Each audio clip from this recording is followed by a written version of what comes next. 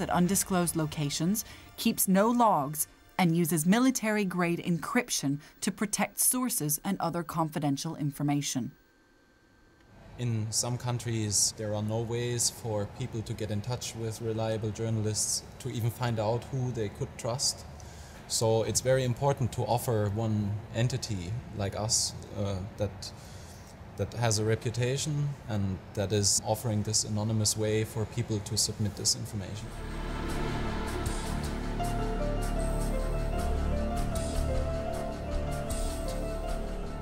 The web is a barrier to a state that's trying to control information. And it's a it's a impossible task for them as people have personal computers and they can encrypt information and send it to other people who have the key. You can't get in the middle there and get it at that information. And once you publish something, the ability to find it and you know stop it from spreading is is near impossible. And so even though there's efforts to do that, you know, states are going to have to admit that information will be out there. Publishing sensitive and often damaging documents on the web means WikiLeaks is under constant attack. In February 2008 came a court injunction by a Swiss bank, Bank Julius Baer, after WikiLeaks published allegations about tax evasion. This was the first big case where an organization tried to legally go after us. So we published documents about hundreds of millions in tax evaded monies. A judge in California, where the case was brought, ruled that the WikiLeaks site be taken offline. But if the bank saw that as a victory, it was sadly mistaken.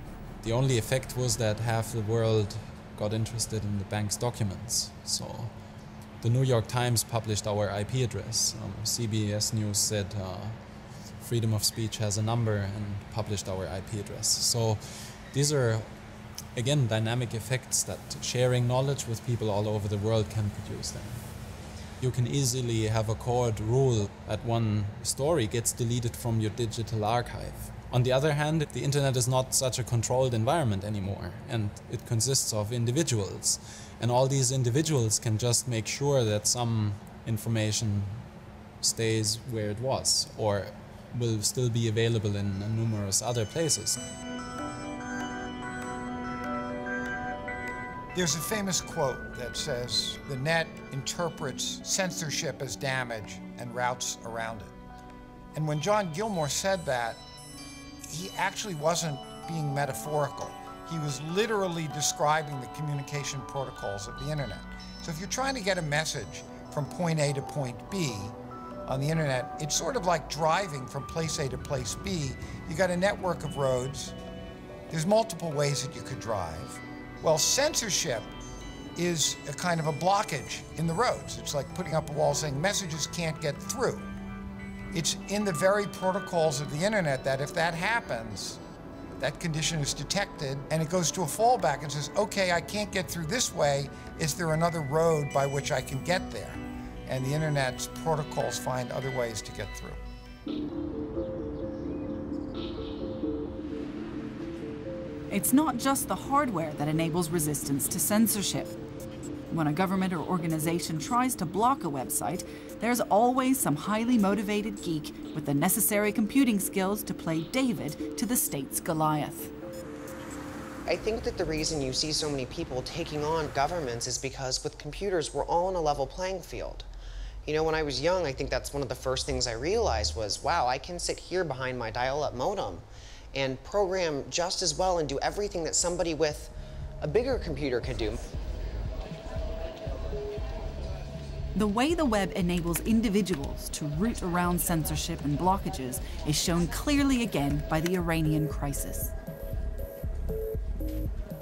Once the Iranian government realized what was going on, they blocked sites like Twitter and Facebook. On the other side of the world, a 25 year old San Franciscan was moved to action. Austin Heap used his programming skills to develop Haystack, an encryption program so called because it hides in everyday web data.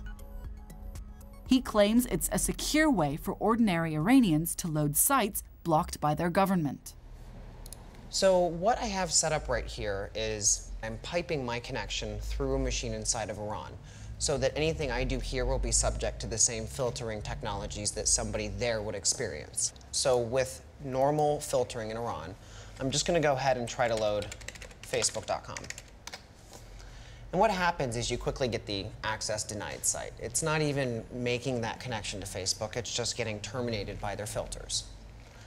So I'm going to turn Haystack on, and then I'm just going to go ahead and click reload. And on this side of the screen, you'll quickly see what Haystack is doing. That's a lot of numbers. See now, from Iran, we've loaded Facebook. And everything you do with Haystack running is secure, it's encrypted, it can't be filtered. You know, there's no chance that they're going to find out what your login was and then try to trace that back to who you are in real life. You see all of this media that comes out that's incredibly graphic. And I would have my daily breakdown, and you just have to kind of have it and get over it, you know, because the next day may be worse. It's not bad for me, I'm not there. I may cry for 10 minutes, but that's their life.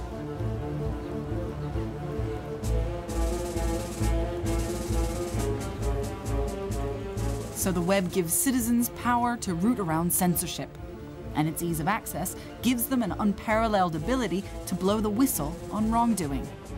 Bring these elements together, and you have the tools for motivated people to gather around a single issue very quickly. In some ways, the web seems to be taking us back to a world before party politics, a world of direct action. Nowhere is this more apparent than in the campaign here in Britain on climate change. The web is not going to rival the state, it's not threatening to wipe the state out. But what it does possibly threaten to do is to make various forms of national politics irrelevant because people can bypass them. In the past, membership of a political party or uh, you know voting in our elections was one of the only ways in which you could express your politics. And the state would much prefer it if that was the only way in which we expressed our politics. But traditional electoral politics is becoming less and less relevant. Essentially, my generation and people younger than me feel completely disillusioned with mainstream party politics. So, where does that leave you if those people are not representing your views? You need a different forum and a different media in which to express your politics. And in the past, you were quite limited in your ability to do that. Whereas now, you're able to express your own views simply by logging onto the internet.